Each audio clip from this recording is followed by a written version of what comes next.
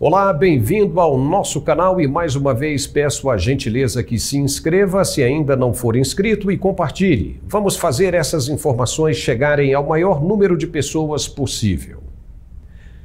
Quando o rei Davi entrou na arena de batalha, todos acreditavam que ele já estava vencido, derrotado. Tamanha grandeza parecia ter os seus adversários.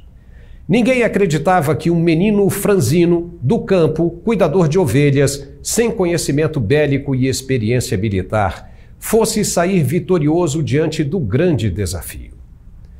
Quando o enfrentamento começou, o maior erro do adversário foi subestimar a força que estava por trás do pequeno homem.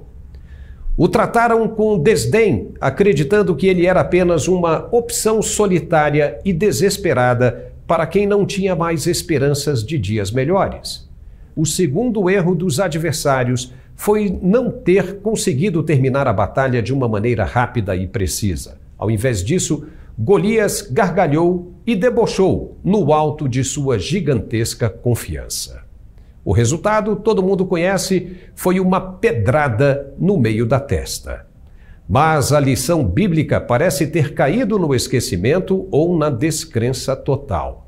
Só que o destino brinca conosco como se fôssemos peças de um jogo de marionetes. Aquele que tiver humildade de observar nas Escrituras poderá encontrar o que precisa para sair vitorioso desse labirinto de armadilhas que a todo momento nos deparamos. O que estamos vendo no Brasil, por incrível que pareça, é uma nova disputa entre Davi e o gigantesco sistema chamado de Golias. Mas esta semana, enfim, conheceremos qual é o verdadeiro tamanho da força desse moderno sistema filisteu, quando será apresentado o relatório com as conclusões das Forças Armadas. Veremos se ele é forte o suficiente para aguentar uma pedrada ou se tombará como o antecessor bíblico. O que sabemos até agora é que teremos um ponto de conflito, pois falar do tema no Brasil está proibido, censurado. Mas estaremos diante de um fato jornalístico e, por obrigação de função, todos nós cobriremos o assunto que passa a ser de interesse mundial. E aí, como ficarão as exceções do tribunal? O relatório, pelo que foi apurado, deverá apresentar anomalias e equívocos, vamos chamar assim, de ordenamento dos resultados, semelhantes ao que já foi apresentado por uma auditoria privada.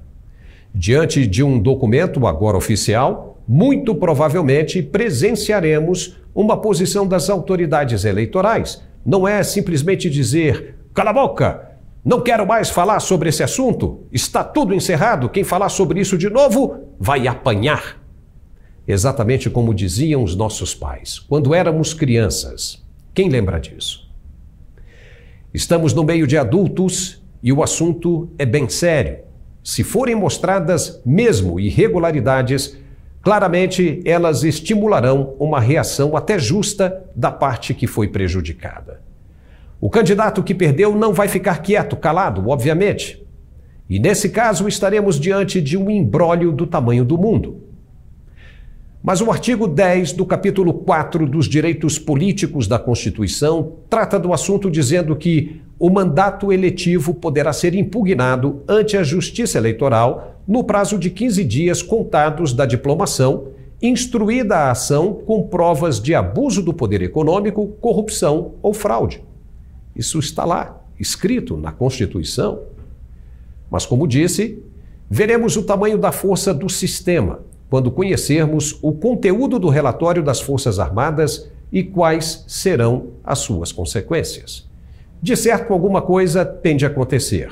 O que não se pode é iludir cidadãos de bem, deixando-os sob chuva, frio e sereno, alimentando esperanças sem que nada se faça ou aconteça. Não, isso é desumano. Portanto, o resultado desse relatório tão esperado poderá ser um marco de uma resolução pacífica ou, quem sabe, o que é pior, o estouro completo das artérias fervorosas desse movimento de massa que começa a explodir sob pressão. Aí sim nós vamos ter um problema sério de ordem social.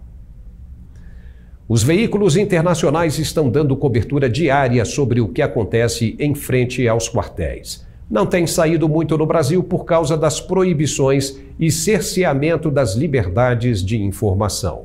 Mas o mundo anda estarrecido com tantos flagrantes de desrespeito aos direitos fundamentais do cidadão. E isso é a água quente que começa a borbulhar. Vamos aguardar o que vem por aí. Estaremos aqui para informar. Se inscreva em nosso canal e compartilhe, por favor. Um forte abraço e até a próxima.